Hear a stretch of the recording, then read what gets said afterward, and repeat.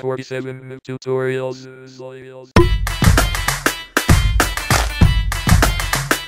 Oh, hi. Welcome to another Hell Yeah 47 tutorial.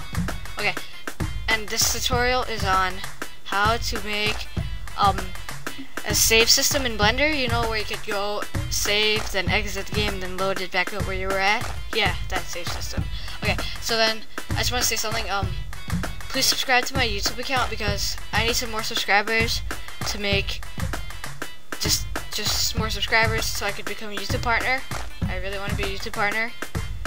And um, subscribe to youtube.com slash McBain MWA because we're making a game together. So uh, let's subscribe to both of us. Okay, so right here, this tutorial is about the save system, and all you need to start off with is a cube that can move. Okay? Okay, a cube that can move. That's all you need.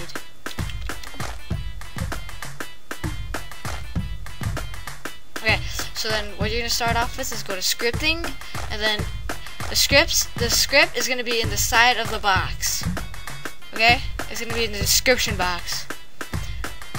So just type it in from the description box. It's gonna two different ones: save and load. Those two different scripts. So mine already open, so I'll make this tutorial faster. And then go to camera, add, add. Make sure camera selected because it has to be the camera.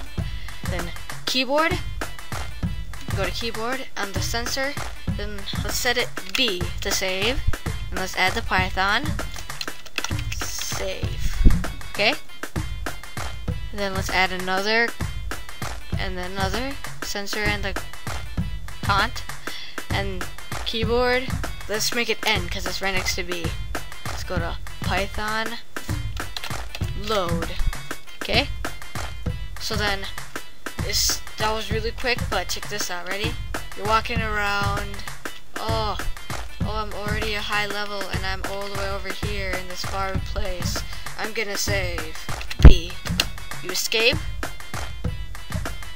Okay, when you leave the game, then you play it again. Okay, okay, now load my game. Oh, N. Wait, this program's horrible. N. A screen recording program's really bad.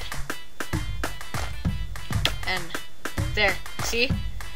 It's because it takes a while because I'm using Snagit because I usually use Cam Studio because it's really good.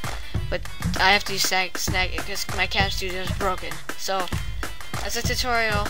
And yeah, subscribe because I want to be a partner. Hell yeah, 47.